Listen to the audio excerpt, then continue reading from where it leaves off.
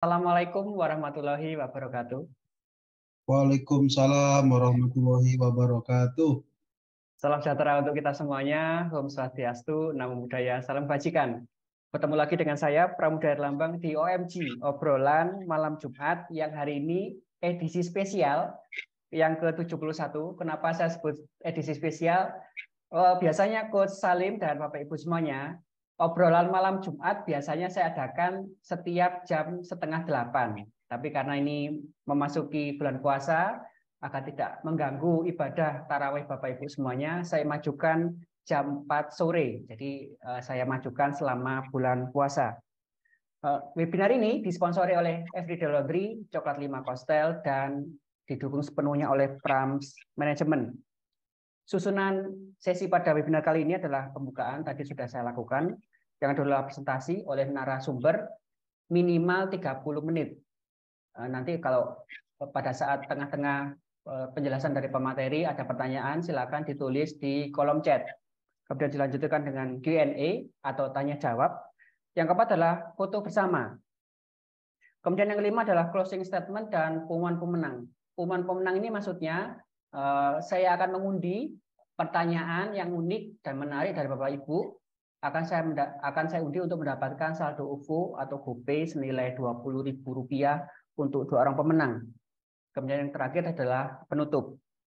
Materi yang kita bahas pada sore hari ini adalah membangun kolam database untuk tingkatkan omset bisnis yang akan dibawakan oleh Coach Salim Suharis.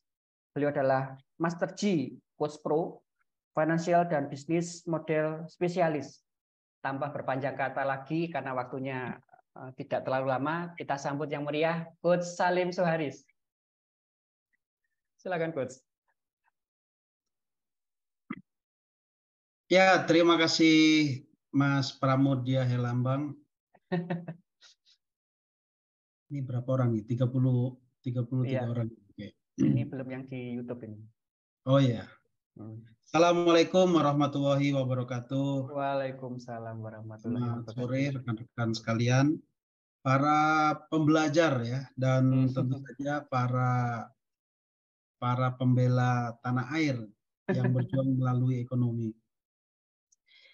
Selamat menjalankan ibadah puasa bagi yang menjalankan dan bagi yang berpuasa dan selamat menunggu ibadah berbuka puasa. ibadah berbuka puasa karena yang ditunggu-tunggu adalah beduk maghrib. Iya. Jadi agenda kita sebenarnya adalah menunggu maghrib. Hmm, ya, betul. satu waktu ya. Ini kalau yang di Indonesia Timur ya udah maghrib. Hmm. Oke, Mas Pramudya Helambang, ya. hari ini agendanya adalah cerita ya, sharing aja ya, sharing ya, tentang hmm. bangun kolam database. Baik, saya mau uh, share sedikit. Ini ya, maaf karena memang kita jarang membawakan materi ini ya, jadi materi ini kita uh, bangun berdasarkan experience aja. Mhm. Membangun kolam database, membangun kolam database. Artinya kita sedang menyusun sebuah aset yang berbentuk data. Jadi begitu ya bahasa gampangnya, menyusun atau membangun sebuah aset yang berbentuk data. Dan data itu tentu merupakan sesuatu yang luar biasa jika digunakan dan jika dimanfaatkan. Oleh karena itu, jika waktunya cukup nih, saya mohon izin untuk menyampaikan lima hal ini. Jadi kalau waktunya nggak cukup, ya ntar dicukup-cukupin. Jadi kita bahas sekilas-sekilas.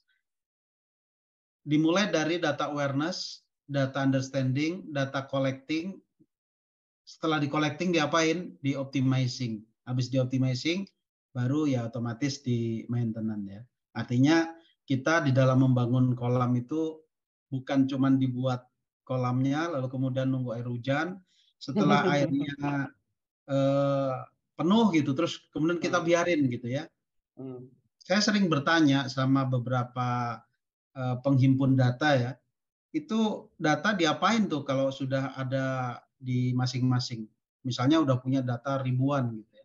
Terus hmm. mau diapain? Cukup disimpan aja atau dikelola, dimaksimalin, maka tentu akan menjadi menjadi lebih bermanfaat jika dimaksimalkan. Oh ya, saya mungkin akan agak banyak ngomong di nomor tiga dan nomor empat ya. Tapi Silahkan untuk nomor satu sampai nomor dua dan nomor lima ya sekedarnya aja lah, nggak cerita panjang. Yang pertama adalah data awareness. Nah ini ada lima area yang harus kita rapikan dan harus kita pelajari. Lima area itu adalah pertama, kalau kita punya bisnis ya, bisnis apa pun itu, bahkan ini nanti diturunkan ke divisi dari bisnis kita. Ada di finance, ada di marketing, ada di sales, production, operation, human resource seperti itu ya. Jadi kita bisa untuk uh, melakukan dan merumuskan apa saja data yang dibutuhkan gitu ya. Apa saja data yang dibutuhkan oleh kita. Jadi kita itu tergantung dari divisinya masing-masing. Jadi ada divisi eh, marketing ya data apa yang mau dibutuhkan maka harus bisa mengklarifikasi karena di situlah maksudnya awarenessnya di situ. Jadi kita sadar bahwa saya butuh data dan datanya adalah data yang kita sudah definisikan. Nah, kalau sudah tahu bahwa data yang dibutuhkan apa ya otomatis sumbernya dari mana? Apakah sumbernya dari eh, kita melakukan interaksi dengan customer gitu kan. Kalau tadi diomongin customer atau bisa juga dari transaksi. Transaksi berarti dari mana? Dari point of sales atau dari mekanisme yang dikembangkan oleh kita. Lalu kemudian bagaimana metode pengumpulannya? Nah, yang dikumpulin dengan cara apa nih? Misalnya dikumpulin pakai Google Form atau dikumpulin pakai aplikasi atau dikumpulin pakai apa pun ya. Jadi pakai fitur-fitur dari berbagai aplikasi yang uh, istilahnya bisa kita gunakan, bisa kita pakai gitu itu juga bisa digunakan. Lalu kemudian kapan kita ngumpulinnya? Jadi apakah tiap hari, apakah tiap bulan, apakah sebulan sekali, apakah hanya tiga bulan sekali, atau bagaimana? Gitu ya. Itu kemudian bicara tentang kapan dan klasifikasinya. Jadi kita mengklasifikasi data itu, ini data apa, ini data data yang kategori bagaimana. Nah, itu kemudian dapat kita lakukan untuk uh, data awareness. Lalu yang kedua adalah tentang data understanding. Nah, data understanding itu ya paling tidak kita ngerti karakter data. Jadi kalau bicara data pada prinsipnya kan gini. Kalau data itu diolah oleh kita, maka akan lama. Sehingga data itu harus diolah oleh sistem oleh sistem itu mulai dari yang paling sederhana, misalnya pakai e, menggunakan Google Spreadsheet, pakai Excel, kayak gitu-gitu ya, itu juga sudah bisa digunakan untuk e, melakukan pengelolaan data. Nah, sebelum sampai di situ, maka kita harus ngerti karakternya. Berarti kita tahu tuh data itu ada yang namanya dat tipe data. Tipe data misalnya tipe data e, teks atau tipe data number atau tipe data boolean gitu ya itu yang sekiranya bisa kita identifikasi tipe data tanggal tipe data waktu dan itu yang membuat kita akan memahami yang namanya field field berarti kolom nah kalau misalnya data dalam satu field itu isinya berbeda akan lebih rumit untuk dikelola tapi kalau dalam field itu datanya sama jadi misalnya field nama, field alamat, field uh, tanggal lahir misalnya, field transaksi terakhir, field uh, dia ngentri dari mana dan seterusnya. Jadi kita mulai untuk memahami tentang data. Dan berikutnya lagi adalah mesin pengolah data. Mesin pengolah data itu pakai apa? Mau pakai mesin yang saya sebut tadi itu, misalnya kayak Google Spreadsheet gitu ya. Itu juga mesin sebenarnya. Nah, diolah pakai itu atau pakai apa? atau pakai software. Software kita bikin sendiri atau pakai software yang sudah di pasaran. Nah, itu juga uh, kita bisa maksimalin ya misalnya kayak kita pakai CRM atau apa. Itu banyak banget tuh.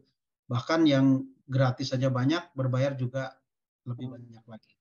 Dan yang terpenting adalah kemampuan mengelola data. Jadi kita udah ngerti nih karakter data bagaimana, kita udah tahu cara memahami mesin pengolah data itu di dalam bekerja, dan yang terakhir, bagaimana kita sendiri dalam mengelola data. Berarti menggabungkan kemampuan dari dua yang di atas. Kemampuan memahami data dan kemampuan dari mesin pengolah data terus kita kelola. Jadi Kalau kita pakai aplikasi Google Spreadsheet, ya berarti ngerti cara memaksimalkan Google Spreadsheet. Kalau pakai software CRM atau apa pun yang bisa kita gunakan, maka kita ngerti cara menggunakannya. Sehingga kita tidak menggunakan aplikasi canggih, tapi nggak ngerti cara pakainya. Sehingga data ditampung aja, habis ditelan, kemudian dipendam, disimpan, dan kita nggak tahu data itu seperti apa guna dan manfaatnya. Jadi data understanding ini kalau mau digali lebih jauh, ntar bisa ditanya jawab. Nah, sekarang kita mulai bicara nih tentang data collecting. Tadi kan udah ngerti nih data apa aja yang disiapin gitu kan, yang dicari, yang diinginkan, yang dibutuhkan, cara ngelolanya, eh, cara nyarinya bagaimana, waktunya kapan, dikelola pakai apa dan seterusnya lah. Artinya urusan data understanding, urusan data awareness-nya udah beres. Sekarang kita masuk ke data collecting. Data collecting artinya kita mulai ngumpulin nih, ngumpulin, ngumpulin data Nah sekarang kalau misalnya nih di kasus kita saat ini kan data customer gitu ya, berarti collecting dari data customer. Collecting dari data customer berarti customer itu adalah orang yang secara sukarela mau untuk datanya dikolek, datanya dihimpun. Jadi kalau misalnya nih kita ngerti ya bahwa membangun kolam database itu bisa diefektifkan sedemikian rupa gitu ya. Lalu dan akhirnya dari database itu bisa dipakai untuk meningkatkan omset bisnis kita hmm. supaya bisnis kita lebih produktif, lebih efektif, lebih efisien, otomatis untungnya juga lebih gede. Omsetnya lebih gede, untungnya lebih gede, itu yang diharapkan oleh kita ketika memiliki data. Artinya data dapat menghadirkan sebegitu pentingnya. Makanya kalau kita punya data akan lebih enak di dalam uh, mengambil keputusan gitu ya. Tapi sering kali nih, sering kali ya saya itu melihat banyak eh, ya kita dalam berjualan itu menyalahgunakan menyalahgunakan data yang terkumpul. Kadang-kadang tiba-tiba dikirimin eh, apa penawaran gitu ya, sementara kita nggak berminat dikasih penawaran, itu merupakan pelanggaran, pelanggaran ya. privasi. Dan ya saya nggak tahu ya siapa yang ngajarin gitu ya, ajar aja gitu kan. Itu kan sama aja ketika kita misalnya dapat nomor handphonenya seseorang, lalu kemudian kita ceburin tuh informasi-informasi ke WhatsApp-nya dia, lalu kemudian kita kasih iklan macam-macam.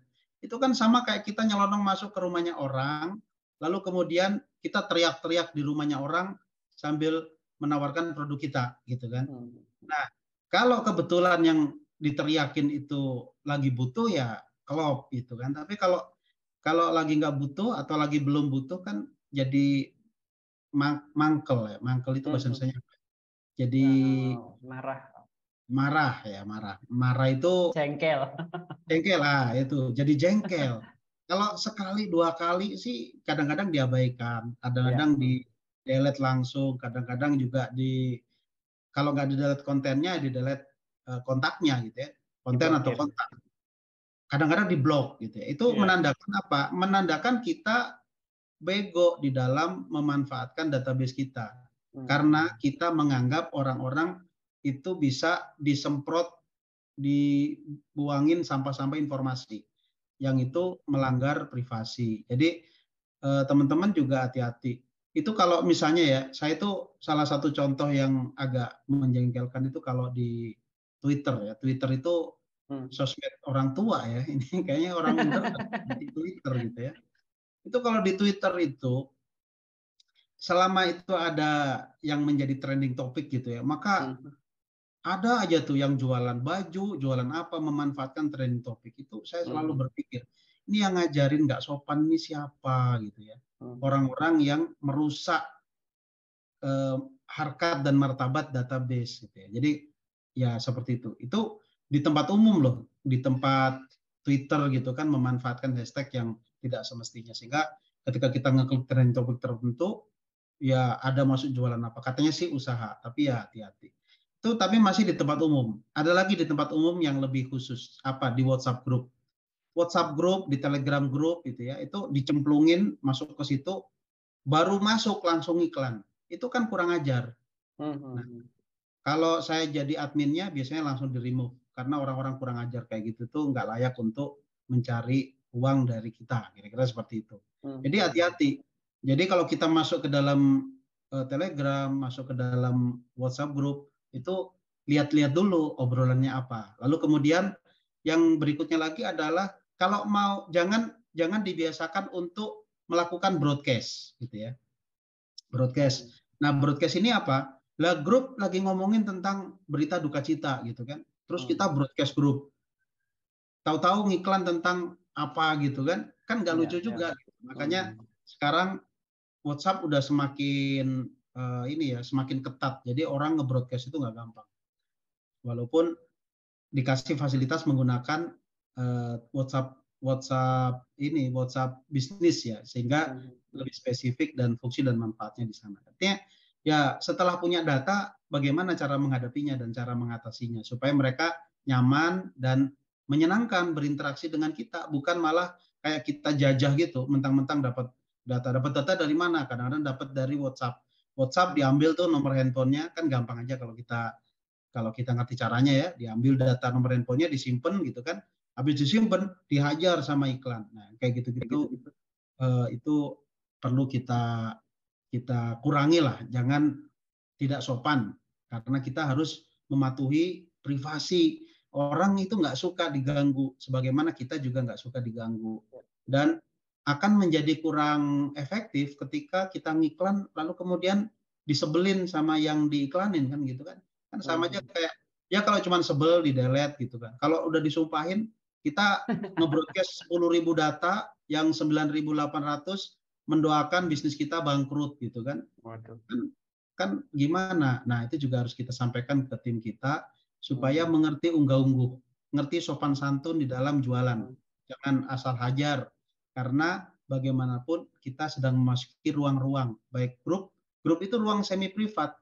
Orang bikin grup kan tujuannya untuk orang-orang tertentu. Eh tiba-tiba kita masuk aja udah masuk nggak ngerti topiknya apaan gitu ya tiba-tiba ngiklan ngiklannya broadcast lagi dalam artian broadcast itu kan nggak tahu waktu asal asal uh, kita ngeklik grupnya terus kemudian data itu bisa kita kirimkan ke situ padahal lagi membahas sesuatu kadang lagi membahas sesuatu yang penting eh tiba-tiba nyelonong tuh iklannya nggak sopan itu juga harus dijaga hati-hati itu yang perlu kita perhatikan sebelum kita memulai untuk mengkolek data ya dan kita juga harus mengerti bahwa data itu bukan data yang bisa dipublikasikan secara luas. Jadi kalau punya data, sebisa mungkin jangan di-share. Ini penting karena kadang-kadang sesama pengusaha tuh saling share tuh. Orang kita dapat datanya minta izin, terus kemudian kita ya, ya, minta izin, datanya kemudian kita share ke mana-mana. Itu kan nggak sopan juga dan melanggar hmm. privasi. Itu juga harus diperhatikan. Mentang-mentang di Indonesia gitu ya, aturan nggak ada, kelonggaran dibebasin, maka ngawur pun silahkan gitu. Tapi kalau di luar negeri yang kayak gini-gini tuh bisa sampai pasal pidana. Makanya hati-hati. Jadi selalu peratuhi peraturan privasi ya. Jadi pastikan pelanggan itu setuju dan bahagia ketika kita menginformasikan data, kita memberikan penawaran gitu. Ya. Karena kita tahu bahwa mereka senangnya apa. Kan intinya gini nih, jual beli itu nggak lepas dari urusan saling bertukar manfaat. Hmm. Contoh nih misalnya, saya punya duit, pengen beli baju, Mas Pramudia Herlambang punya baju, pengen butuh duit gitu kan, kan kita bertukar. Hmm. Nah ketika kita bertukar, duit saya lepas, saya dapat baju. Lalu kemudian Mas Herlambang melepas bajunya dapat duit. Ada saling saling ridho di situ. Nah kalau misalnya sekarang nih kita eh, berhadapan dengan orang yang tidak membutuhkan value yang kita tawarin. Terus kemudian kita hajar terus kan malah iya. sebel yeah. kita. Jadi Betul. kita harus identifikasi value. Dia itu value-nya apa. Jadi yang memang ngelola data yang jadi kolam itu bagaimana mengklasifikasi. Jadi dia itu kategori yang value-nya apa. Bahkan contoh nih contoh. Eh, saya kan punya salah satu salah satu bisnis untuk ini ya souvenir pernikahan gitu ya. Hmm. Jadi kalau mau menikah boleh ngejapri saya. Mas Erlambang mau nikah lagi juga boleh nggak apa-apa. nah itu data yang sudah masuk itu kan intinya mereka pengen souvenir. Itu aja kita kelompokin tuh. Mereka pengen souvenir untuk nikah, souvenir untuk kegiatan di kantor. di kantor untuk ngasih ucapan, misalnya ada yang lagi wisuda atau apa gitu kan hmm. dikasih souvenir juga. Atau untuk ini nih dalam rangka mau Ramadan kan yeah. ada yang segala macam. Nah, hmm. mereka mencari souvenir aja untuk pernikahan pun ada kategorinya. Ada yang hmm. untuk tamu umum, ada yang untuk tamu ketika siraman, ada yang untuk tamu untuk ketika acara uh, Midodareni dan lain sebagainya. Acara tujuh bulanan itu beda lagi tuh souvenirnya. Jadi uh, beberapa orientasi orang terhadap terhadap kemampuan kita memberikan solusi itu bisa beda-beda. Lah kalau dicampur aduk jadi satu tentu akan menjadikan tidak mudah di dalam kita meng mengefektifkan. Lalu kemudian perhatikan juga interaksi. Kita terakhir interaksi sama dia kapan? Interaksi itu dalam artian berkomunikasi ya, entah berkomunikasi lewat WhatsApp, berkomunikasi lewat uh, telepon atau langsung bercakap-cakap. Nah, itu kalau bisa di dihimpun juga timelinenya. Jadi tanggal berapa kita berinteraksi sama dia secara japri itu disimpan tuh. Nah, kalau pakai aplikasi CRM udah terkelola semua seperti itu. Jadi timeline kita bisa tahu. Persis kayak kalau Mas Pramudia dihubungin sama debt collector kayak gitu ya. Itu kan ya, ya. debt collectornya itu kan tahu betul tuh kapan terakhir ngomong. Terakhir ngomong lima bulan yang lalu. Ngomongin apa, janji apa, itu oh. ada catatannya tuh di situ. Sehingga walaupun yang nelpon udah orang yang berbeda, tapi datanya sama. Sehingga bisa dimaksimalin. Saya juga eh, pernah membantu salah satu dealer ya, yang kerjanya kan menservis mobil gitu. Nah, dengan memaksimalkan servis mobil itu ternyata kita berinteraksi sama customer yang existing dan dengan mengetahui waktu dia untuk melakukan servis ulang maka kita bisa untuk mendapatkan uh, kebermanfaatan dari dari data yang kita sudah hadirkan tadi itu. Nah, jadi kayak gitu kira-kira terkait masalah data collecting ya. Nah, tapi ini belum belum ngomongin nih. Kita kita sharing aja. Jadi tadi ya privasi itu penting, lalu kemudian minta izin kalau bisa ngumpulin data mereka itu kita harus izin karena ada ada hak dari si pemilik data untuk tidak diekspos datanya. Kalau datanya itu diekspos bisa dituntut kayak gitu. Ya. Sebenarnya sih sebenarnya walaupun agak berat proses itu kalau sekarang. Nggak tahu kalau di pemerintahan nanti yang lebih tertib hmm. hukum gitu ya. Sehingga yang ngawur-ngawur itu bisa diatasi. Kalau sekarang mah ya gimana ya? Ya ngurusi 349 triliun aja nggak kelar-kelar gitu ya. oh ya, update hari ini Mas Pramudia Lambang, utang ya. negara itu sudah 29 juta per orang. Oh. Keren ya. Jadi setiap bayi lahir itu sudah dibebani dengan 29 juta rupiah per orang. Jadi kalau misalnya Mas Lambang punya keluarga tiga sama anak sama istri misalnya, ya udah tinggal hmm. ngalihin aja. Itu tahun 2017 itu masih 13 juta tuh Mas. Hmm. 2017, sekarang 2023 berarti naik enam 6 tahun. Hmm. Utangnya nambah 16 juta per people per orang. Nah, itu hmm. trennya kita. Hmm. Ya, balik lagi ya tadi. Oh, ngomongnya gitu. Nah, jadi kembali lagi nih kita membangun kolam database nih ya, pastikan bahwa Anda selalu mempertimbangkan kepentingan. Jadi jangan asal wah yang penting himpun dulu lah dari siapa aja gitu kan. Hmm. Akhirnya nggak tahu data itu diapain, nggak tahu dimaksimalin, nggak tahu cara mengelolanya, pokoknya ditimbun hmm. aja. Akhirnya data itu hmm. menjadi data sampah yang tidak terpakai. Ketika ditanya punya database nggak punya gitu, berapa record? Record itu berarti jumlah data ya.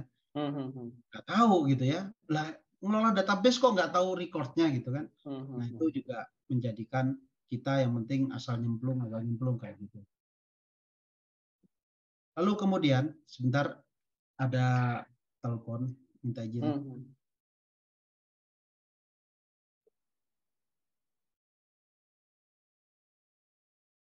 Jadi Bapak Ibu, jika ada pertanyaan, silakan ditulis di kolom chat Tadi sudah apa? Eh, ada dua bagian materi. Jika ada pertanyaan, mohon ditulis di kolom chat. Kemudian yang membutuhkan e-sertifikat, mohon untuk mengisi formulir absensinya. Jadi formulirnya sudah linknya sudah saya cantumkan di kolom chat. Ya, silakan coach. Ya, jadi membangun kolam database itu kita harus pastikan dulu kebutuhannya apa, kepentingannya apa. Jadi hmm. dengan begitu data yang kita dapetin akan lebih lebih mampu kita kelola dengan baik. Karena tahu ini dikelola untuk ini, ini dikelompokkan untuk ini, ini untuk uh, menawarkan produk baru, ini untuk memfollow up, ini untuk uh, sekedar untuk menjaga hubungan dan seterusnya. Jadi campaign kita terhadap marketing itu jadi relevan gitu antara yang dia inginkan sama yang kita tawarkan itu matching.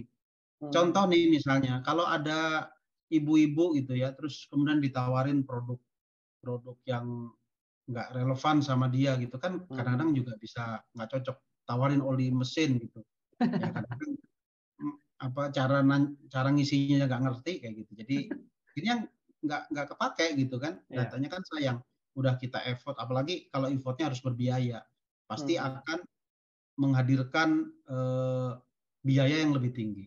Hmm. Nah sekarang ada beberapa nih yang yang biasa kita ya ini nanti dicatat sendiri aja karena saya nggak nyiapin nggak nyiapin uh, powerpointnya juga.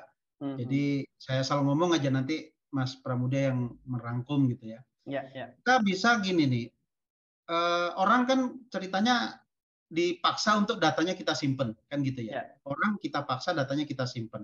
Maka orang itu harus rela supaya data yang disimpan itu benar-benar data beneran. Kalau enggak, asal-asalan tuh dia ngisi. Salim ditulis Bambang kayak gitu ya. Alamat kadang juga kita cuma nulis Surabaya gitu. Enggak hmm. enggak detail gitu kan. Hmm. Sehingga kecamatan mana, kelurahan mana enggak detail. Karena ya enggak ada manfaatnya bagi mereka. Oleh karena itu, cobalah untuk mulai memikirkan insentif. Insentif itu yang paling mudah ya dikasih diskon gitu kan. Hmm. jadi bisnisnya kasih diskon maka mau diskon nggak mau. Ya ini isi dulu formnya kayak atau Google Form atau gimana. Ya itu saya kira udah udah lazim juga. Hadiah gitu ya. Kayak tadi kan Mas Pramudia ngasih dua puluh ribu. Hmm. nah kan pasti didata dulu siapa namanya ya. alamatnya di mana hobinya apa kucingnya berapa gitu kan makanannya demennya apa itu bisa kayak gitu. Itu bisa ditanya macam-macam tuh terus kita juga bisa memberikan mereka semacam akses ke konten-konten eksklusif. Misalnya nih kita hmm. punya konten-konten eh, digital itu yang paling gampang tuh eh, login ke situ, tapi mereka harus meregister beberapa data tertentu sehingga mereka bahagia untuk menikmati itu. Bisa dengan eh, beberapa file ya. Ini juga hati-hati. Kadang-kadang file bajakan di share gitu ya. Itu juga kalau di luar negeri ditangkap itu ya. sebagai sebagai pelanggar hak cipta kan kadang-kadang kita eh, file-file yang ada hak ciptanya di share gitu kan itu juga berbahaya. Filenya beli ke siapa terus kemudian di situ sudah disclaimer bahwa ini hanya untuk kepentingan pribadi. Eh di share nah itu juga masuk kategori um, melanggar adab. Melanggar adab itu bahaya karena nanti kalaupun dapat manfaat dari situ manfaatnya nggak berkah gitu. Jadi hmm. hati-hati di dalam memanfaatkan ini kalau kata orang orang masjidan tuh Mas Pramudia, hmm. pakai sandal tanpa izin itu namanya gosok. Lah kita tuh kadang-kadang udah pakai software tanpa izin gitu ya, malah bangga ketika bisa bajak sesuatu. Waduh. Itu juga ya itu juga gosok juga sama aja karena yang punya nggak ridho. Makanya kalau yeah. buktinya ridho nggak ridho apa? Kalau ketahuan ditangkap itu nama, kalau ketahuan minta dikenakan denda itu namanya nggak ridho. Kayak yang nggak ridho itu hati-hati kita bisnis gitu ya, eh softwarenya software bajakan. Itu kan hmm. ada ketidakridoan di situ walaupun hmm. kecil tapi jadi kerikil yang menghambat perjalanan kita. Sama untuk hadiah-hadiah juga misalnya hadiah digital ya. Kita misalnya nulis gitu kan, nulis sendiri lah. Apalagi hmm. sekarang ada chat GPT, bisa hmm. merangkum sesuatu secara lebih indah, secara lebih mudah. Nah itu bisa tuh dibikin konten-konten manfaat, hmm. share. Uh, misalnya dalam Eh, kita bikin lima hari itu misalnya hari pertama ngasih apa, hari kedua ngasih apa, hari ketiga ngasih apa. Itu udah di hmm. listing tuh sehingga ketika dia join pada hari pertama, hari Senin misalnya, nah Senin dapat ini, Selasa dapat ini. Itu kalau dibikin sistemasi, mereka register tiap hari dapat, tapi harinya si si Wawan misalnya karena dia register hari Senin sama harinya si Bambang karena dia register hari Rabu, beda file yang didapetin karena dia menggunakan aplikasi dan aplikasi itu gampang banget tuh cara bikinnya misalnya begitu dia teridentifikasi sebagai hari pertama dapat ini hari kedua dapat ini sampai lima hari dapat apa gitu kan share aja terus. Kalau punya 30 konten ya di-share berarti 30 hari berturut-turut. Nah, nanti dapat lima hari ditanyain apakah konten yang saya bagikan bermanfaat bagi Anda, apakah Anda mendapatkan insight, apakah Anda terbantu solusinya, problemnya, dapat solusi, kayak gitu-gitu untuk menunjukkan bahwa kita berinteraksi. Nah, hmm. pakai manual boleh supaya lebih interaktif, pakai software juga boleh. Kita bikin tersistemasi itu, otomatis mesin yang nanyain. Mesin hmm. nanyain tapi yang jawab orang. Jangan sampai mesin yang nanya yang jawab mesin juga. Kan kasihan hmm. banget mesin. Kayak kita nih ngobrol sama Chat GPT aja udah ketawa-ketawa padahal dia mesin gitu kan. Iya. Nah, itu itu juga perlu kita perhatikan. Nanti dapat 10 hari ditanyain lagi, dapat 15 hari tanya lagi. Karena kita udah punya konten 30 hari, nah mereka dapat sesuatu yang kita bisa bisa lakukan konversi antara interaksi mereka kemudian dengan data-data dengan hadiah-hadiah kita yang kemudian kita bisa tarik dikonversi. Barangkali lagi butuh uh, ini sirup misalnya. Nah, ini ada sirup nih ya dari Mama Lemon misalnya kayak gitu kan kan sama-sama hijau tuh ya.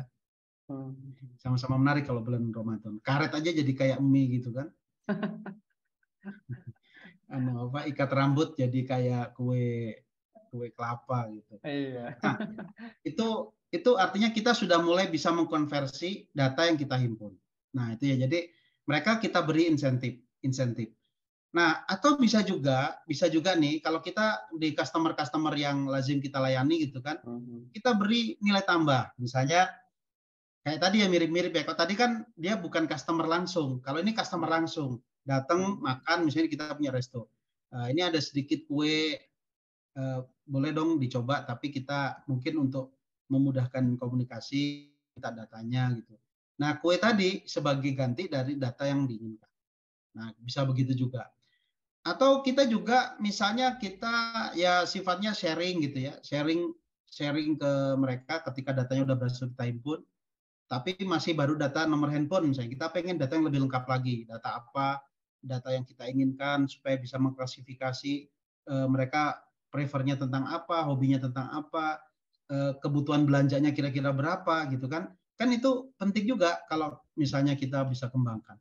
Saya pernah bantu salah satu toko ya, itu dia bisa mengimpun data orang di sekitarnya. Hmm. Itu lalu kemudian dia bisa tahu tuh bahwa orang di sekitarnya itu belanjanya butuh berapa dan ketika mereka belanja akhirnya belanjanya ke dia gitu. Karena dia tahu bahwa oh ini waktunya habis odolnya oh ini waktunya habis sabunnya kira-kira seperti itu. Waktunya kecapnya habis gitu. Itu ditawarin yang tadinya nggak pengen beli jadi beli gitu. Hmm. itu juga uh, ya sifatnya interaksi seperti itu yang kemudian kita bisa kembangkan.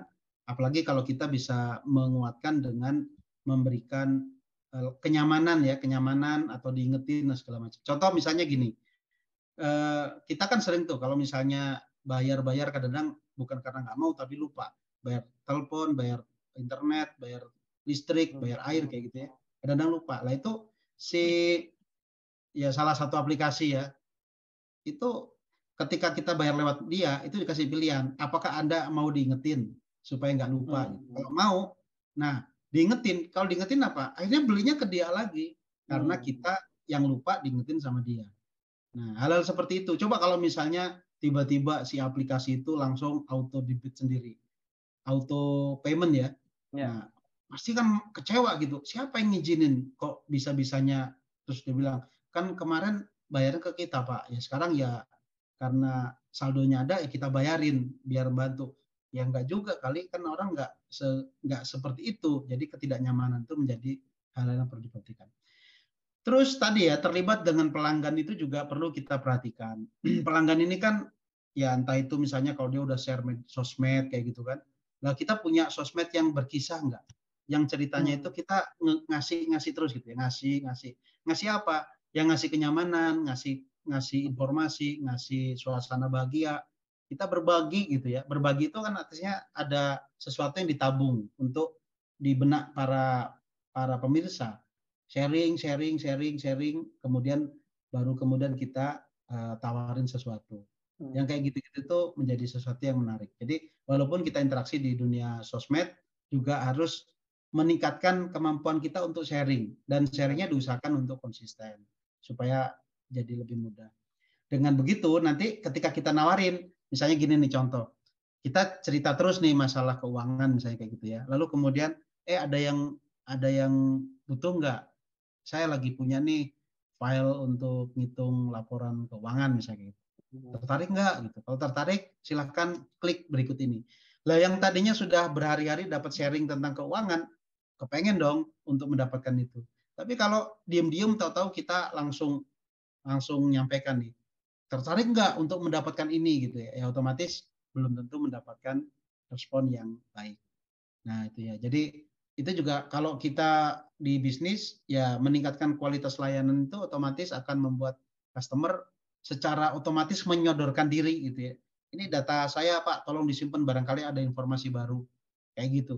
Sama kayak kita punya channel YouTube ya, kan kita sering tuh share apa tuh komen like, comment, and share. share gitu. yeah. Like, comment, subscribe, and share. Ya itu sekedar mereminder aja sebenarnya. Hmm. Kalau konten kita bagus, orang nggak usah disuruh gitu-gitu juga akan nge-share sendiri. Yeah. Nggak usah disuruh gitu-gitu akan subscribe sendiri. Pasti kan kepengen tahu hmm. tuh untuk ini lanjutannya apa lagi ya gitu ya. Nggak kepengen ketinggalan gitu kan. Uh, apa klik loncengnya ya Ya, ya kalau konten kita menarik ya nggak usah digituin, dia akan tertarik. Jadi intinya hmm. kembali lagi kepada kita mampu nggak bikin konten yang menyenangkan. Ya, ini jadi agak lompat-lompat nggak apa-apa ya Mas ya? Karena apa-apa, silakan Mas. Ya. Jadi ntar dirangkum sendirilah gitu ya. nah terus kalau udah kayak gitu nih sekarang kan ceritanya udah mulai masuk nih data per data ya. Hmm. Kita hitung data yang masuk itu berapa banyak dan berapa berkualitas. Kalau hmm. kurang kita bisa kembangin tuh apalagi yang bisa kita misalnya data masuk ada 10 per hari gitu ya. Kenapa ya kok cuma 10? Terus kontennya apakah salah ataukah keliru? Terus kemudian hasil entrian datanya apakah sudah bagus atau asal-asalan? Itu kita evaluasi supaya kita bisa merencanakan sesuatu yang baru gitu ya. Hmm. Mau pakai apa pun, mau pakai media sosial, mau pakai offline di resto kita, di toko kita, di tempat jualan kita. Ya intinya atau di brosur-brosur gitu ya, brosur. Contoh gampang gini nih. ya ini bukannya lagi ngajarin buruk ya. Hmm. Saya itu kan sering ketemu sama driver-drivernya uh, apa Gojek online, Grab hmm. online kayak gitu ya. Dan Maxim online. Apalagi ya supaya terlanjur nyebut satu kan harus disebutin semua sampai habis ya. biar biar adil. Shopee online kayak gitu gitulah gitu ya. ya, ya. Nah driver-driver itu saya bilangin, bang sering nggak e, nawarin nomor handphone ke penumpang gitu? Ya sering hmm. mas. Gitu ya. Terus kalau sering itu gimana tuh cara komunikasinya? Ya kita ngobrol-ngobrol aja membangun, membangun komunikasi gitu. Nanti kalau hmm. dia nyaman biasanya minta sendiri. Gitu. Coba gini hmm. deh mas, kan nomor handphone itu kan bisa tuh pakai https titik dua slash slash wa dot yeah. me gitu slash nomor handphone gitu ya. Yeah. itu aja dibikin jadi QR code gitu kan. Nah QR code-nya mau dipakai di kartu boleh, dipakai di stiker juga silahkan. Nah hmm. stikernya tempel, ditaruh di di apa di belakangnya jok depan kayak gitu kan kan penumpang jadi ngeliat tuh. Nah, yeah. jadi supaya dia nggak perlu capek-capek nge-save nggak perlu ngetik nama nomor handphone apa segala macam. Kalau misalnya tanya penumpangnya selalu ibu ya misalnya, bang gitu. Kalau tertarik dengan layanan kami, kita juga bisa loh dihubungin secara offline misalnya kayak gitu. Kan hmm. mereka juga nggak hanya mengandalkan dari orderan dari uh, aplikasi. aplikasi tadi kan, aplikasi order online tadi kan. Nah, hmm. kalau misalnya mau langsung bisa tuh hmm. nomor WA saya ada di situ, silahkan di uh, tembak aja QR code-nya. Nah, kayak gitu juga bisa. Atau misalnya kalau kita uh, jualan produk ya yang jualannya hmm. melalui order online gitu ya, pakai uh, bla bla bla food itu kan bisa tuh kita masukin kartu yang ada QR code-nya untuk hmm. di-save. Nah, kalau nggak dikasih QR code kan kita udah tulisannya kadang-kadang kecil-kecil gitu ya, terus kemudian kita tidak melakukan itu sehingga harus si customernya jadi harus capek-capek nulis gitu kan ya kalau ada waktu hmm. kalau QR code kan enak begitu QR code ditembak lalu kemudian sudah ada tulisannya kan karena QR kan bisa panjang tuh uh, kirimkan ini gitu akan mendapatkan hadiah apa. Udah tembak langsung masuk database disimpan. Apalagi kalau WA-nya bisa di uh, diakses sama aplikasi juga kan API-nya juga banyak tuh. Nah, hmm. akan lebih jauh lebih mudah gitu ya. Padahal kita jualan seribu produk orderan sehari gitu, tapi mereka tidak terkoneksi sama kita secara langsung karena yang kita hadirkan selalu apa yang yang nggak dihadirkan, yang apa yang yang udah lazim gitu kan.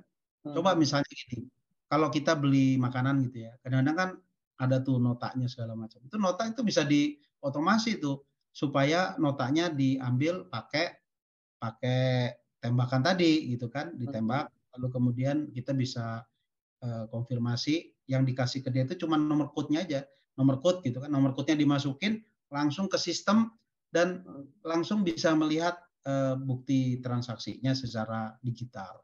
Karena kadang-kadang kalau yang kita beli itu misalnya mohon maaf nih, kadang-kadang kita beli itu agak mahal gitu ya, terus kemudian pas sampai di rumah istri kita nggak begitu suka gitu kan, kadang-kadang dilihat dulu notanya tuh. Yeah. Wah beli ginian aja segini gitu kan, tahu gitu masak sendiri. Nah kadang-kadang nota kayak gitu tuh kita lupa, eh dikirim juga. Ya kalau ke, kirim ke kita, kalau kita misalnya ngebelin orang, kan gak enak juga ngebelin orang terus ada notanya gitu kan. Nah kayak gitu-gitu itu harus kita perhatikan. Ini contoh-contoh pelayanan ya di dalam kita kalau misalnya kepengen kepengen agar data customer itu bisa masuk ke kita ya cara-caranya yang sering kali berguna itu adalah pakai QR code. Jadi QR code-nya itu pakai kartu apa segala macam. Kadang-kadang gini, kita juga kalau ke mana-mana ya, kan hmm. sering, misalnya Mas Herlambang, Mas Pramudia nih, ngobrol-ngobrol gitu terus tanya nomor handphonenya berapa gitu kayak gitu kan kelamaan gitu ya. Kalau kita yeah. kan pakai kartu, kartunya ada QR code di situ. Hmm. Misalnya kalau mau nge-save, tunjukin aja kartunya. Nih Bapak di sini. Nah, itu akhirnya dipakai tuh sama WhatsApp. WhatsApp kan hmm. ngasih ngasih code kan. Iya, betul, Code yang langsung bisa ditembak terus langsung bisa nge-save. Nah, itu mungkin ya mungkin WhatsAppnya nyontoh cara saya kali ya, ya nggak tahu juga. Cuman saya udah nerapin dari dahulu kala. Jadi kita bisa lakukan itu dan di WhatsApp juga terakhirnya bisa kayak gitu supaya kita nge-save-nya cepet jadi nggak usah uh, simpen nomor HP segala iya, macam ya, dan sebagainya kayak gitu kan. Nah, itu bisa dilakukan. Nah, kalau kita kesulitan karena tidak real time atau karena pas kita juga lagi banyak sibukan ya bikin aja kartu nama gitu ya yang ada QR code-nya, QR code-nya di-share mana-mana. Hmm. Itu dengan apalagi ditambah dengan insentif-insentif tadi ya, dapat hadiah, dapat ya. uh, apa segala macam gitu atau dapat game-game yang yang walaupun itu kan gini, ini bukan tentang perjudian ya, e, akan diundi, tapi dia tanpa pengorbanan yang berbasis materi itu nggak apa-apa. Hmm. Jadi misalnya mereka ngisi, lalu kemudian nanti akan diundi, ya kayak misalnya giveaway gitu kan nggak apa-apa. Hmm. Tapi kalau hmm. harus mengorbankan sesuatu demi hadiah itu nggak boleh. Itu yang masuk hmm. kategori uh, perjudian. Oke, itu yang kira-kira bisa kita kembangkan ya. Terus apalagi apalagi ya? Oh ya, kita juga bisa memanfaatkan influencer. Kalau misalnya bisnis kita udah mulai gede, hmm. ya kita korbankan budget tertentu untuk hmm. misalnya ngajak influencer. Misalnya Mas Pramudia Herlambang ini kan influencer juga nih. Nah, jadi bisa tuh, Mas bantuin kita dong untuk menghimpun data gitu ya. Jadi hmm. insentifnya dari mana? Ya dari komunikasinya Mas Pramudia Herlambang itu. Kalau hmm. butuh apa-apa segala macam. Terus kemudian dari dari yang kita dapetin Eh, dari yang didapetin oleh customer manfaatnya dibalas dengan menghimpun data gitu ya dan data itu hmm. masuklah ke kita. Jadi itu yang bisa kita share beberapa ya. Jadi terkait masalah cara untuk menghimpun menghimpunnya gitu ya. Jadi hmm. ada banyak cara sih sebenarnya tapi kalau misalnya eh, proses proses collecting tadi itu sudah kita bisa dapetin ya kita akan bisa lebih mudah. Daya tarik ya.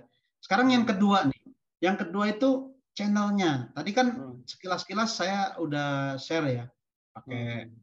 Google Form, pakai apa. Nah sekarang channelnya. Jadi sebisa mungkin memang channelnya ya harus menggunakan teknologi informasi. Hmm. Teknologi informasi itu apa? Yang paling gampang Google Form. Ya. Google Form paling gampang karena dibikinnya gratis dan cepat gitu ya. Yang kedua adalah pakai aplikasi CRM. Bisa dengan cara memanfaatkan yang sudah ada atau bikin develop sendiri. Yang ketiga, kita juga bisa memanfaatkan WhatsApp. WhatsApp itu juga cukup enak dipakai buat menghimpun data dan um, prosesnya bisa macam-macam dan alternatif lain yang bisa dikembangkan. Intinya membangun rute gitu ya. Dan rutenya bisa di sosmed, bisa di toko kita, kayak tadi bisa di mobil, bisa ketika kita ngirim orderan gitu ya, pakai kartu nama atau apa segala macam itu bisa kita bisa kita lakukan. Lalu kemudian bagaimana cara menghimpun datanya gitu ya, menghimpun data otomatis namanya menghimpun data ya kita pakai teknologi informasi, hmm. pakai eh, apa database gitu ya. Kalau databasenya masih sederhana, kita bisa pakai Google Spreadsheet, pakai Excel hmm. itu sederhana. Kalau database-nya udah harus clear gitu ya, kita bisa pakai database yang lebih bagus. Entah itu kayak MySQL, pakai Postgre, pakai Oracle dan segala macam. Yang seperti itu bisa kita pakai untuk menghimpun database customer kita. Nah, jadi teknologi otomasinya dihadirkan, teknologi penyimpanannya juga dihadirkan. Seperti itu kira-kira terkait masalah menghimpun data. Nah, yang terakhir adalah menjaga interaksi data yang dihimpun kalau bisa ya dijaga ya interaksinya. Entah itu dihubungi secara berkala sehingga nanti di database itu ada semacam ini dihubungi terakhir kali kapan. Jadi kalau hmm. misalnya kita eh, menarget tim kita ya satu orang 100 data per hari untuk dihubungi, ya udah dia cukup generate aja data yang udah disimpan tadi itu di generate dicari data yang interaksinya paling lama misalnya. Tentunya kalau klasifikasi sederhana kan dikumpulin dalam satu data, lalu ada field namanya terakhir dihubungi. Supaya orang yang terakhir dihubungi itu, eh, orang yang dihubungi baru beberapa hari yang lalu, dia nggak asal dihubungi aja, jadi bisa bisa kita pilih dan akhirnya merata. Kita punya 100 ribu data dengan memperhatikan terakhir dihubungi, maka si tim kita generate nih 100, jebret gitu kan. Muncul data 100, dia tinggal hubungi. Apalagi kalau 100 itu langsung bisa diakses ke Google apa ke WhatsApp-nya dia, langsung udah berbentuk link sehingga tinggal dia klik-klik aja selesai 100 dia reporting ke kita bahwa sudah menghubungi dengan informasi seperti ini. Apalagi kalau menghubungnya pakai aplikasi yang sudah terintegrasi dengan dengan tools misalnya atau dengan uh, software mobile application yang di-create secara khusus itu juga bisa untuk melakukan proses interaksi komunikasi secara personal. Jadi benar-benar orang yang menghubungi, bukan mesin. Terus kemudian kita juga bisa tuh misalnya target pasar kan gini, dari 100 ribu data kan tidak semuanya market kita ya. Ada yang benar-benar market kita, ada yang bukan. Nah yang market kita itu yang kita maintain lebih reguler. Misalnya sebulan sekali kita kita tanya kabar. Sementara yang bukan market kita berarti kan bisa jadi dia soon to be. Soon to be itu gini, dia adalah market yang kemungkinan butuh produk kita, tapi belum sekarang, gitu ya. Contohnya misalnya anak SD dengan produk pembalut wanita, misalnya kayak gitu contohnya. Hmm. Mama bapak Kan mereka mau dikasih tahu 100 kali juga belum butuh gitu ya, kecuali kalau emaknya lagi butuh gitu kan sehingga hmm. bisa kembali emaknya, tapi kan nggak mungkin juga. Tapi data mereka bisa kita kasih informasi-informasi tentang cara menjadi anak gadis yang baik gitu ya. Nanti umurnya naik naik ke SMP diajarin tentang cara uh, menjaga kepercayaan diri gitu kan. Begitu sudah mulai menstruasi baru kita tawarin produk-produknya karena mereka udah interaksi sama kita terus. Jadi ngejagain Suntubi market itu tentu berbeda dengan cara ngejagain uh, segmented market. Suntubi market berarti yang nanti baru akan butuh produk kita. Nah, maintainnya kan nggak mungkin dikasih penawaran produk yang kita jual kan kita juga nggak mungkin menjual ke mereka orang mereka belum butuh. Tapi lima tahun lagi empat tahun lagi tiga tahun lagi mereka bisa jadi butuh. Sehingga kita kasih maintain secara reguler. Entah itu dalam bentuk WhatsApp group apalagi sekarang WhatsApp group sudah isinya bisa gede banget ya, ya. belum lagi fitur-fitur yang yang contohnya kayak ini ya kayak community group gitu ya. Itu saya tuh sama community group walaupun ada ribuan orang yang bergabung, tapi hmm. bagi dia itu seolah-olah cuma kita berdua tuh. Jadi hmm. ketika kita nge-share sesuatu, tiba-tiba nyeletuk. Pak, ini cuma kita berdua nih di grup gitu kan. Apalagi kalau dia perempuan, kita laki-laki, kayak nggak ada kerjaan aja gitu. Ya karena WhatsApp-nya belum upgrade gitu kan. WhatsApp-nya hmm. belum di diperbarui sehingga seolah-olah hmm. cuma berdua yang ada di grup itu. Padahal kalau hmm. diperbarui yang muncul walaupun tetap berdua tapi nom, nomor jumlah membernya itu kelihatan. Jadi ada sepuluh ribu berapa gitu kelihatan. Hmm. Tapi kalau yang WhatsApp-nya belum di-upgrade, dia mesti begitu dapat postingan dari kita kaget tuh. Ini Pak Salim ada apa Pak kok eh, bikin grup cuma berdua gitu ya. Padahal itu pakai grup community. Fiturnya eh, WhatsApp yang bukan bisnis. Jadi yang hmm. bukan bisnis kan itu itu bisa kita pakai juga untuk hmm. untuk uh, melakukan. Tapi ya, itu tadi karena itu dibangun dari grup yang digabung dari satu menjadi semacam announcement gitu ya. Hati-hati di dalam uh, mendistribusikan supaya tidak tidak salah persepsi atau salah pada waktunya kira-kira begitu. Ya jadi kita bisa tahu tuh ada lagi yang namanya swing market ya swing market itu berarti market yang nggak nggak loyal sama kita itu juga perlakuannya beda maintenance-nya juga beda jadi nggak loyal nah jadi berarti kalau yang yang segmented market berarti kita pendekatannya adalah dijaga ya atau dirawat jadi kata kuncinya dirawat kita rawat kita punya database 100 ribu yang menjadi customer kita itu katakanlah seribu gitu ya itu kita rawat, kita maintain, kita jaga gitu ya. Hmm, Lalu kemudian yang kedua adalah kalau dia soon to be market. Soon to be market itu berarti market yang akan butuh produk kita pada waktunya nanti. Sekarang belum butuh. Maka pendekatannya adalah dengan cara dicegat. Dicegat tentu nyegatnya juga ngomongin sesuai dengan kapasitas dia. Sama kayak kita tadi jualan pembalut. Pembalut kalau perempuan ya rata-rata SMP lah dia baru mulai ya. Sementara kalau dia SD gimana gitu ya? Ya SD jangan diomongin tentang itu, omongin tentang uh, apa menjaga diri, terus hmm. tentang bagaimana uh, bersikap baik pada lawan jenis, mulai dikenalin tentang lawan jenis, tentang apa kayak gitu-gitu lebih hmm. menarik karena mem, ya itu kan sex education kan, sex education ya, yang ya. baik tentunya. Nah kayak gitu aja begitu nanti dia udah tertarik sama kita, apalagi kita untuk pembalut belinya ke kita. Sama kayak gitulah kira-kira. Ada lagi yang namanya swing market. Swing market itu market yang tidak loyal. Tidak loyal karena tidak loyal akhirnya ya datanya memang kita punya tapi kadang-kadang dia beli di mana, beli di mana, hmm. kadang beli di kita. Nah, bagaimana caranya untuk memikat? Nah, pendekatannya juga tentu agak sedikit berbeda. Ada insentif yang lebih besar supaya mereka lebih loyal sama kita. Lalu ada juga yang kategori unexplore market. Jadi market yang sebenarnya butuh tapi secara teknis sarana prasarannya belum memungkinkan, kira-kira begitu. Nah, itu bagaimana cara mengatasinya? Apakah mereka order lalu kemudian kita kita layani secara online atau bagaimana? Itu juga bisa. Yang pasti itu gini, kadang-kadang kita tuh ketika mereka sudah order pun sering kali kita tuh maksa gitu ya. Udah order itu bagi kita belum benar-benar totally deal. Jadi hmm. jangan kita paksa.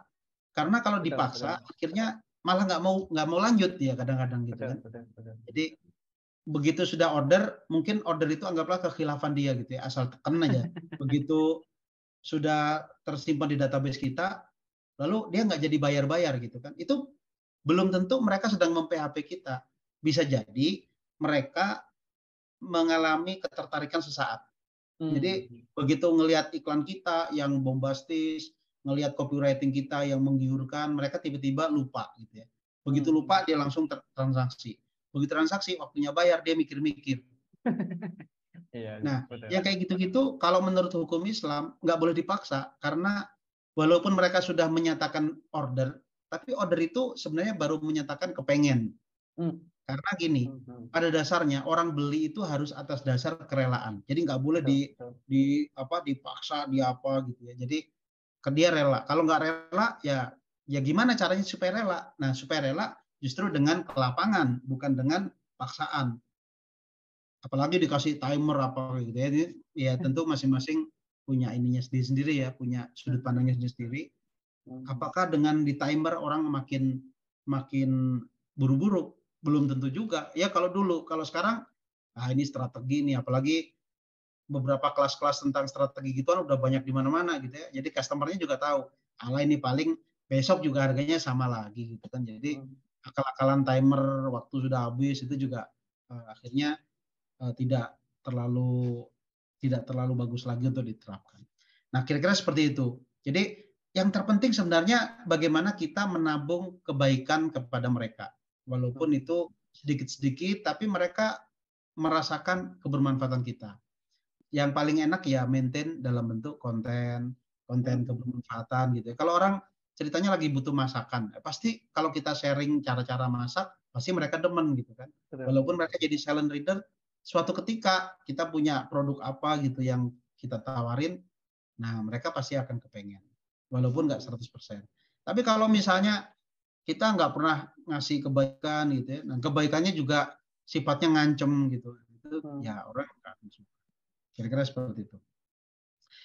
Kira-kira itu yang terkait dengan bagaimana cara kita untuk menjaga interaksi ya. Dan yang terakhir, optimizing. Optimizing ini lebih kepada cara kita untuk merumuskan data berdasarkan kategori tertentu. Jadi setelah tadi ya ada interaksi, ada segala macam. Kan tadi tuh masuk tuh, ini masuk kategori apa? Biru kah, hijau kah? Atau gampangnya gini, kalau saya mengelompokkan jadi tiga ya, misalnya kategori masih masih dingin gitu ya, Hmm. kategori hangat, kategori panas. Ya, hmm. mau dia cold, uh, warm, warm atau hot. hot ya. Nah, yang cold itu orang yang kepengen tapi belum menunjukkan keseriusan gitu ya. Kalau yang warm sudah mulai serius tapi belum belum tentu deal. Kalau yang hot di tekan dikit aja buttonnya itu dia sudah deal gitu. Nah, yang kayak gitu-gitu harus kita kita ketemukan berapa jumlah datanya, siapa yang akan menghubungi gitu. Ya. Bisa jadi orang yang melakukan proses interaksi belum tentu yang mengclosing, hmm. belum tentu yang melakukan dealing. Yang closing aja belum tentu berhasil deal gitu dan seterusnya. Betul, betul. Jadi bagaimana kita merumuskan. Terus informasinya sendiri ditayangin nggak? Jadi setelah kita melakukan proses tadi itu ada nggak dashboard gitu ya untuk menunjukkan sekian yang warm, sekian yang cold, sekian hmm. yang hot, sekian yang baru masuk, sekian yang ini, sekian yang ini. Nah kayak gitu-gitu itu yang perlu kita kita perhatikan untuk di follow up. Karena kalau enggak ya data yang kita himpun tadi itu ya akhirnya enggak kepake. Cuman masuk masuk gitu aja. Tapi interaksi. Nah contoh lain ya yang saya uh, contohkan tadi itu di uh, bengkel dealer. Salah satu brand terkenal gitu kan. Itu kita bisa monitoring tuh untuk bulan ini yang harus dihubungi berapa gitu kan? Hmm. dengan kategori apa? Ada yang kategori uh, sesuai schedule ada yang late schedule ada yang apa gitu ya. Nah di situ pun saya dulu mendapatkan semacam arahan ya bahwa maksimal hanya boleh dua kali gitu ya. Jadi dua kali itu masih gini dihubungi untuk ditawarin apakah mau servis rutin apa tidak gitu kan. Yang kedua kalau iya apakah sudah punya jadwal gitu kalau iya, maka jadwalnya kita catat. Kalau tidak, berarti itu follow up yang pertama. Berarti dia lagi mikir-mikir. Nanti kita hubungin lagi yang kedua. Apakah sudah punya jadwal? Kalau masih belum, maka udah nggak boleh dihubungi lagi kecuali dia yang menghubungi ke kita. Ada yang hmm. ada yang pakai penerapan kayak gitu. Jadi membuat supaya customer itu tidak merasa diintimidasi. Kadang-kadang kita mah hajar aja intimidasi gitu ya, padahal belum tentu juga dia mau. Lari malah menjauh. Nah, terus setelah itu kita analisa potensinya, tim yang harus disiapkan untuk menghubungi, terus kemudian sarana prasarana yang harus disiapkan, dan seterusnya, termasuk keputusan-keputusan harus kita lakukan. Itu yang nantinya menjadi sesuatu yang penting. Nah, terus di yang berikutnya lagi adalah maintenance ya. Maintenance tadi itu data yang kita dapatkan itu seberapa akurat gitu ya. Artinya dengan kita melakukan interaksi secara terus-menerus, ya tentu saja datanya akan menjadi lebih akurat. Kalau enggak kan enggak tahu tuh dia udah meninggal apa enggak gitu ya. Contoh sederhana gini, saya kemarin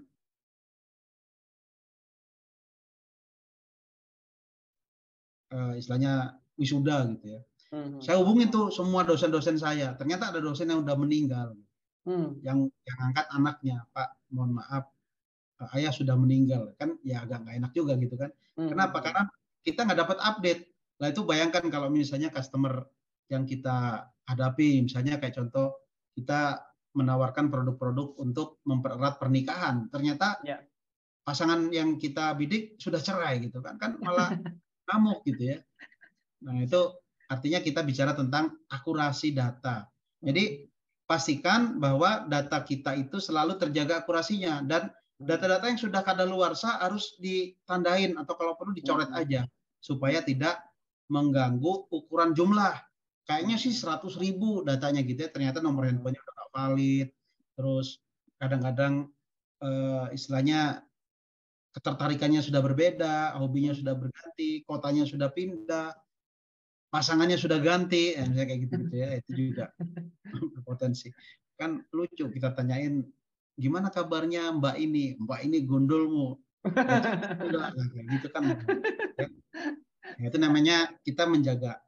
Terus yang kedua tadi yang akurat ya. Terus bagaimana kita juga menjaga agar kualitasnya tetap bagus. Data itu iya sih eh, akurat tapi dari 100 hmm. 100 isian yang kita siapin cuman keisi 10. Hmm. Berarti kan sayang tuh sehingga data-data yang lebih jauh nggak akan didapatkan. Nah, itu yang bisa kita kualitaskan bagaimana menghadirkan data-data itu tentu dengan cara komunikasi.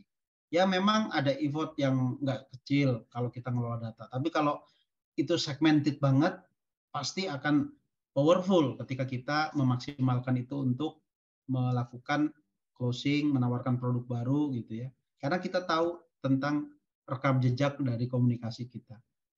Yang berikutnya lagi, tentu kita juga terkait masalah bagaimana menjaga ter, uh, ya analisa pesaing juga ya. Hmm. Jadi analisa pesaing itu sebenarnya ya merata ya di berbagai tahap tadi itu kita perhatikan.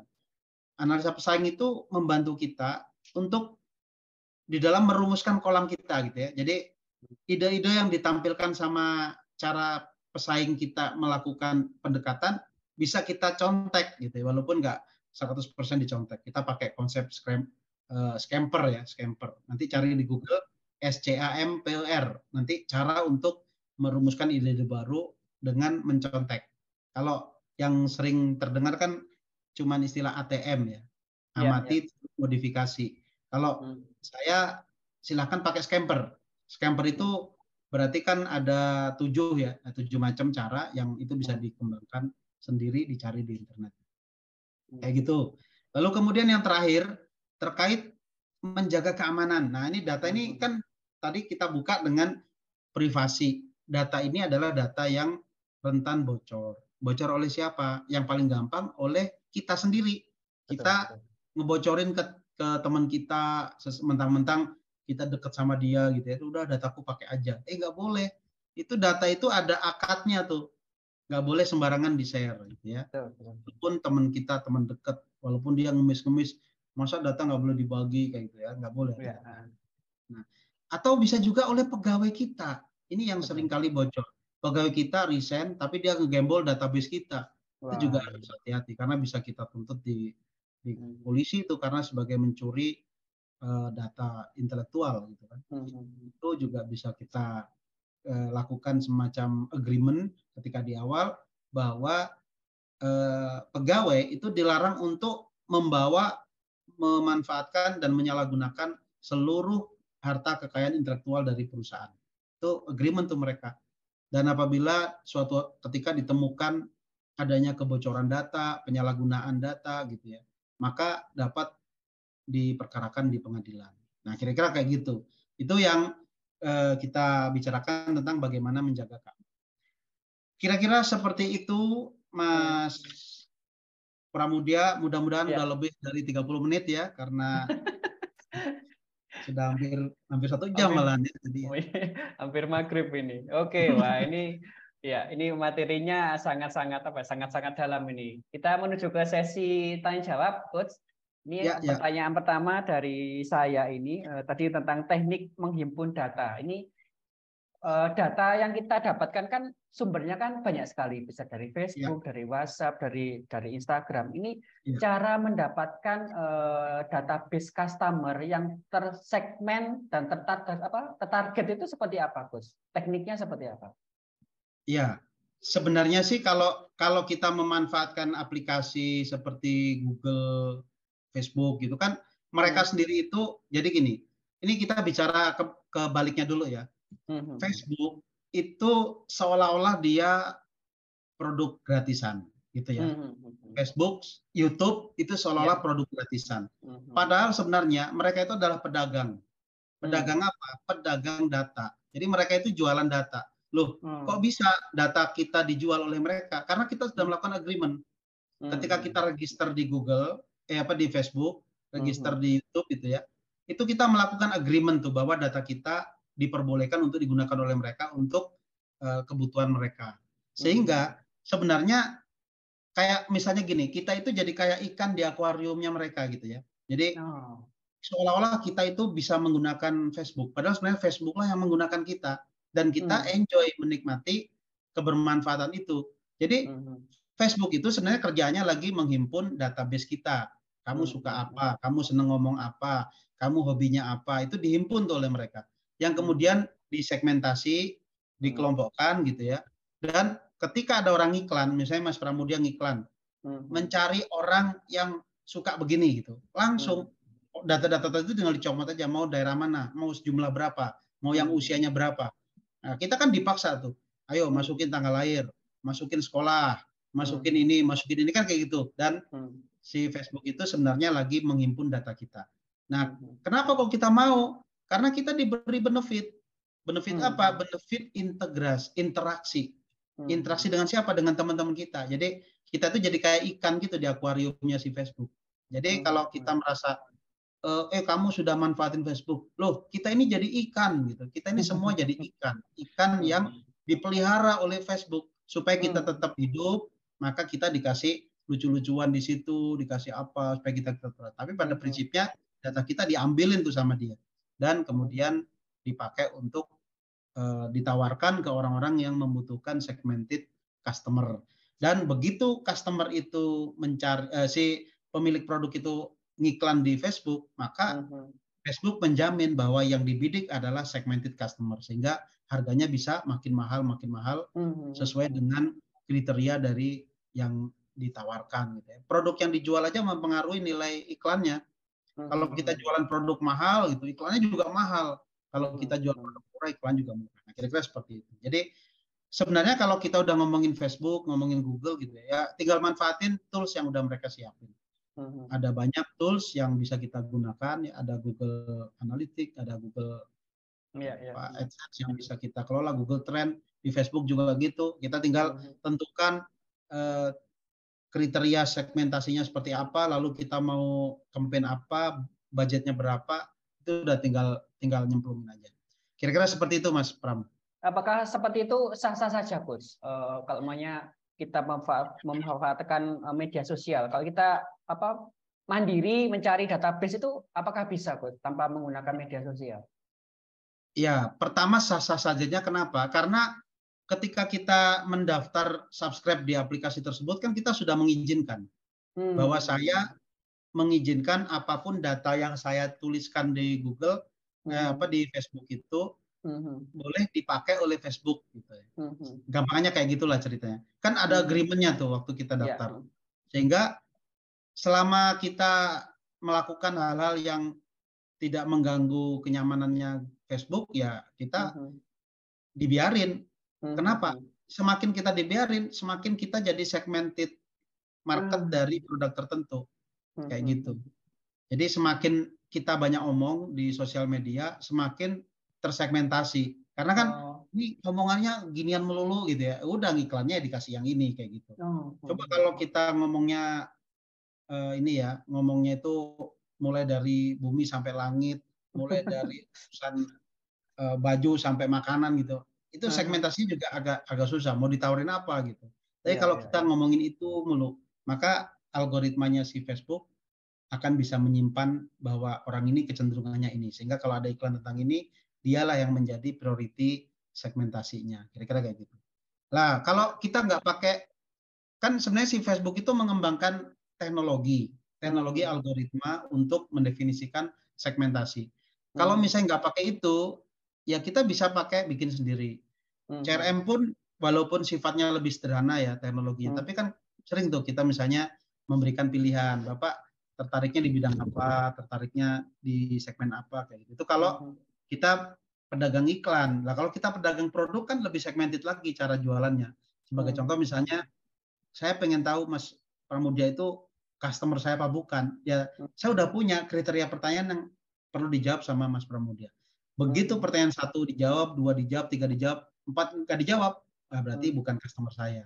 Tapi hmm. ya cukuplah disimpan datanya siapa tahu nanti sewaktu-waktu kita ulangi dengan pertanyaan sejenis, maka mulai dijawab berarti mulai jadi customer saya.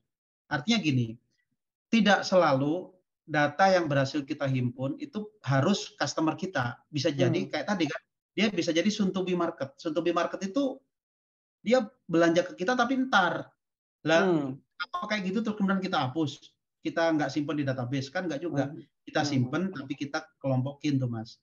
Tapi yang hmm. segmented biasanya dengan beberapa kriteria pertanyaan atau beberapa kriteria isian kita udah bisa mengarah. Apalagi kalau ditawarin apa dia langsung nangkep gitu ya. Wah ini udah hmm. segmented banget. Sehingga kita bisa masukkan ke dalam pengelompokan database utama yang akan kita maintain lebih rutin. Kalau perlu nanti ada semacam gift gitu ya. Yang kita kasih yaitu Nah, hmm. sambil yang lainnya kita pamerin aja supaya mereka ada ketertarikan ke kita. Seperti itu kira-kira Mas. Kemudian nih ada pertanyaan dari Pak Setio Asep Nugroho. Kalau kalau kolaborasi eh, penghimpunan eh, database melalui media sosial, apakah dipastikan sinkron dengan produk kita, Coach? Nah, ini definisi kolaborasinya ini kan yang perlu di diberikan iya, iya. ya. Karena kalau saya ini kan aliran menjaga privasi orang. Uh, Sehingga kalau kita kolaborasi, berarti kan ada potensi gini nih. Di sana ngambil data, di sini ngambil data. Orang yang ngambil data dari pintu A sama ngambil uh, data dari pintu B, belum tentu hmm. memiliki kecenderungan dan keriduan yang yang sama.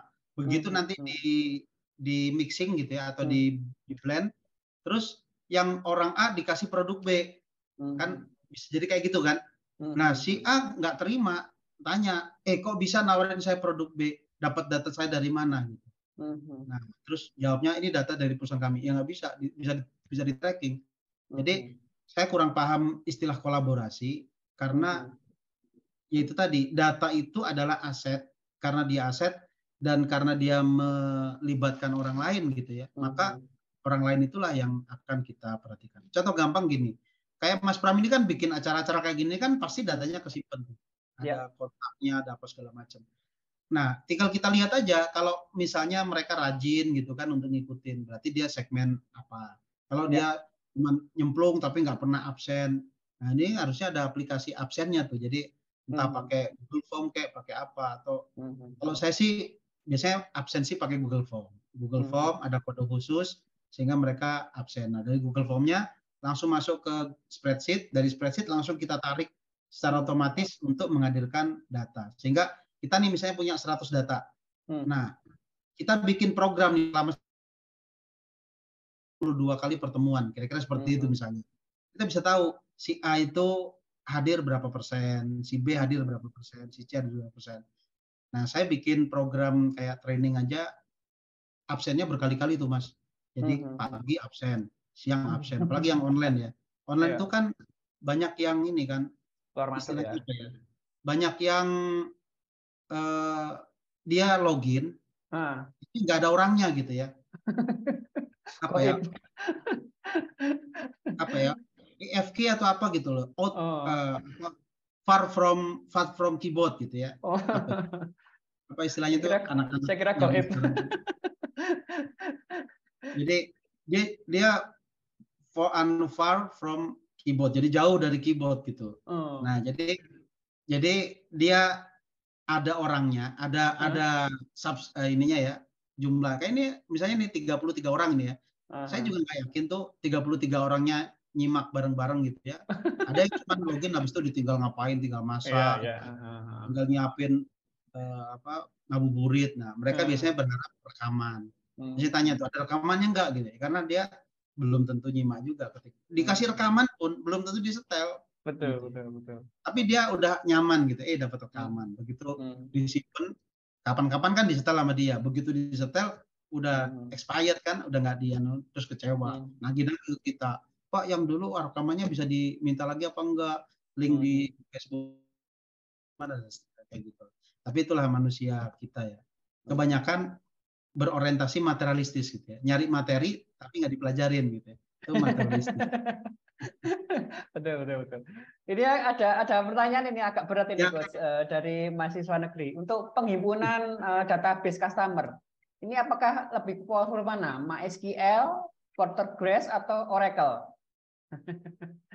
ini kalau pakai aplikasi ini uh, yang lebih powerful yang mana untuk pengolahan database customer ini, coach? Oh iya. Wah ini kayaknya teman saya sendiri nih yang yang iya. Namanya Mas Huri kalau nggak salah ya. Iya. Ya apa kabar Mas Huri? Lama tak jumpa kita. Hmm. Nah, kalau masalah database itu sebenarnya hanya hanya merupakan perangkat teknis. Hmm. Yang terpenting itu adalah mekanisme dan caranya. Jadi hmm. jangankan pakai pakai Postgre, pakai MySQL dan berbagai macam database lainnya ya. Hmm. Pakai Google Spreadsheet pun kalau kita ngerti cara makainya itu hmm. powerful juga gitu. Apalagi hmm. kalau kalau datanya cuma seratus ribu, sepuluh ribu kayak gitu-gitu mah pakai Google. Spreadsheet aja masih ngatasin dia. Walaupun berat gitu ya. Tapi kalau misalnya kita datanya udah jutaan gitu ya, ya tentu nggak bisa lagi menggunakan Excel, nggak bisa lagi pakai Google Spreadsheet, harus pakai database yang memang sudah dirancang untuk melakukan itu. Searchingnya pun cepat dia. Kalau misalnya gini ya, kita punya data satu juta data, terus kita hmm. searching berdasarkan kategori tertentu gitu. Hmm. Kalau pakai database kayak MySQL, Postgre kayak gitu-gitu, hmm. hmm, hmm. dia akan lebih cepat hasilnya daripada kalau kita simpen dalam uh, spreadsheet atau Excel hmm. Hmm. atau Microsoft Access kayak gitu ya. Itu hmm. akan lebih lama cara nyarinya. Jadi ini lebih kepada datanya seberapa banyak. Kalau hmm. datanya banyak banget, ya gunakanlah. Bahkan MySQL pun datanya kalau cuma ratusan ribu sih masih bisa. Tapi kalau udah juta, susah. Pakai yang lebih hmm. big lagi. Kita bisa hmm. pakai Postgre untuk memaksimalkan uh, tata kelola datanya. Karena makin besar database, caranya juga makin beda-beda. Nanti makin besar lagi, beda lagi caranya. Jadi kembali kepada seberapa besar data yang kita kelola. Seperti itu Mas Ilham. Oke, ini ada lagi pertanyaan Pak Setio Asep Nugro yang tadi Coach terangkan tentang ini uh, customer bengkel. Mengapa uh, kita harus memfollow up customer semaksimal dua kali, Coach? Ini pertimbangannya apa, Coach? Oh ya, itu sebenarnya kebijakan ya, kebijakan hmm. dari mitra kita. Kalau saya sih ya nggak harus dua kali juga, cuman hmm. mereka kan menginginkan cukup dua kali supaya apa? Supaya tidak mengintimidasi customer kita. Karena gini, kalau ditawarin sekali mereka nggak mau atau banyak dalih gitu ya, hmm. ditawarin dua kali masih banyak dalih, tandanya mereka uh, tidak menjadi tidak menjadi segmen potensial kita, hmm. kira-kira market potensial kita. Maka mereka mungkin akan dihubungin, tapi bukan dalam bentuk penawaran, melainkan hmm. misalnya engagement yang lain seperti hmm. ucapan ulang tahun atau selamat menunaikan ibadah puasa atau apa gitu. Sehingga membangun kembali interaksi supaya tidak terkesan mereka itu menjadi ladang untuk kita eksploitasi. Ya, ya. Kan customer juga nggak suka kalau misalnya kita jadikan ladang eksploitasi kan, hmm. apa aja diiklanin gitu kan. gitu. Kalau saya ini nggak pernah nggak pernah interaksi, nggak pernah komunikasi, iya, nggak ya. pernah nyapa, isinya ngiklan melulu, udah pasti hmm. auto ban. Kenapa? Hmm. Saya anggap dia nggak sopan. Hmm. Karena kalau kalau sekali lima kali enam kali masih saya biarin lah. Paling ya hmm. ya saya delete kontennya. Tapi kalau sudah berkali-kali, apalagi sudah ekstrim gitu ya, hmm. ada aja tiap tiga hari, lima hari, wah itu udah pasti auto ban. Kenapa? Karena kas, uh, dia masuk kategori marketing nggak sopan, hmm. yang tidak menghargai privasi seseorang. Hmm. Maka cara seperti itu layak untuk di ban supaya dia hmm. belajar dari kenapa kok di ban orang. Kalau yang lain ngebiarin ngebiarin gitu kan. Ya, makanya kalau saya sendiri untuk bisa nawarin produk aja minta izin dulu gitu. Hmm. Pak minta izin kita mau menyampaikan informasi boleh apa tidak. Hmm. Kalau dibolehin kita baru share informasinya. Apalagi informasinya mengandung uh, data multimedia yang kontennya cukup besar. Tapi kalau dia ngerespon aja enggak, ya udah kita biarin, enggak kita enggak kita follow up untuk dijualin. Seperti itu. Jadi yang dua kali itu bukan bukan keharusan, tapi uh-huh. itu merupakan konsep dari si uh, perusahaan bengkel yang tadi kita layani. Oke, terakhir coach. Uh, ya. dari dari teknik yang uh, coach Haris uh, coach Salim paparkan tadi ada tiga macam kategori customer, ada cold, ada warm, ada hot. Ini bagaimana kita mengklasifikasikan, mengenali customer ini di bagian hot atau warm atau hot itu bagaimana, coach? Oh ya, itu dari dari interaksi ya. Mm-hmm. Kalau kalau masih cold itu kan dia biasanya cuma tanya-tanya gitu ya. Kita mm-hmm. kita bikin klasifikasi sendiri, Mas. Mm-hmm. Jadi kita bikin kalau itu kan asumsinya tiga ya. Kalau mm-hmm. lebih banyak lagi boleh nggak? Boleh nggak masalah. Asumsinya tiga. Jadi cold mm-hmm. itu ya berarti orang yang masuk sudah mulai tanya-tanya gitu ya. Mm-hmm. Di bawah di bawah cold ada lagi. Di bawah cold itu masih dia berbentuk uh, ini apa istilahnya data potensial. Jadi belum ada interaksi. Kalau sudah ada interaksi, kalau dia sudah menyatakan minat itu masuk cold. Hmm. Artinya perlu untuk kita follow up. Kalau dia menyatakan minat dan menyatakan kebutuhannya sudah jelas hmm. Keinginannya pengen beli kapan gitu kan. Saya mau butuh buat besok gitu. Nah, hmm. yang kayak gitu-gitu tuh bisa masuk kategori WAM untuk di follow up lebih jauh. Kalau yang mereka sudah pengen transaksi langsung, tinggal di sudah masuk tahap closing gitu ya itu berarti sudah hmm. hot. Hot itu outputnya apa? Ya pilihannya jadi beli apa tidak gitu. Kalau WAM kan outputnya uh, bisa di follow up apa tidak gitu. Kalau hmm. cold bisa di bisa di apa ya istilahnya bisa ditingkatkan interaksinya apa tidak. Hmm. Karena mereka ketika pengen beli-beli kan juga masih membanding-bandingkan kan di sini kayak hmm. gimana, di sini kayak gimana. Nah, yang kayak gitu-gitu jangan kita push untuk nawarin produk kita secara bisa kita tawarin baik-baik. Hmm. Malah ada juga yang gini nih. Ketika kita itu jadi kayak jadi kayak konsultannya dia gitu. Jadi kayak kayak contohnya kan saya juga jualan software nih. Saya jualan hmm. software. Terus tiba-tiba dari yang kita hubungin itu nanya, kalau pakai software ini bagus nggak gitu. Terus kita bilang, sorry ya, saya nggak mau ngomongin tentang software itu. Ya otomatis nggak enak dong. Kalau kita mah mau dia nanyain misalnya software ini gimana ya kita jawab aja setahu kita. Mhm. Dan kita tidak tidak dalam bentuk jelek-jelekin gitu ya. Jadi kita bilang baiknya ini, buruknya ini secara proporsional. Dengan begitu, intinya apa? Kita itu ngasih, ngasih, ngasih, ngasih, ngasih supaya tabungan kita lebih banyak di dia. Kalau mhm. tabungannya banyak kan uh, withdrawalnya cepat enak gitu. Sama kayak kita nabung. Kita nggak pernah nabung kebaikan ke mereka. Terus kemudian tahu-tahu narik duitnya gitu kan ya nggak bisa gitu kan jadi apalagi kalau produknya itu mahal produknya di atas eh, satu juta lima juta sepuluh juta seratus juta tentu cara jualannya juga nggak bisa hard selling kayak kayak di di apa di pasar malam gitu ya hmm. ah yang anak saya yang anak ya, yang hmm. lima ratus lima ratus silakan beli nah, yang kayak gitu-gitu tuh biasanya produknya murah karena murah maka mereka langsung hard selling tapi kalau semakin mahal produknya, bahkan saya ketemu sama salah satu trainer eh, premium marketing ya, itu mereka mengharamkan menyebutkan harga di interaksi sampai titik tertentu kayak gitu. Jadi hmm, hmm, nggak boleh itu nyebutin harga karena premium produknya. Karena mereka harus menawarkan kebermanfaatan, value, value, value kayak gitu. Baru kalau sudah sampai di titik tertentu, justru si customer sendiri yang akan ngejar-ngejar kita untuk bertransaksi. Kayak gitu, Mas Herlambang.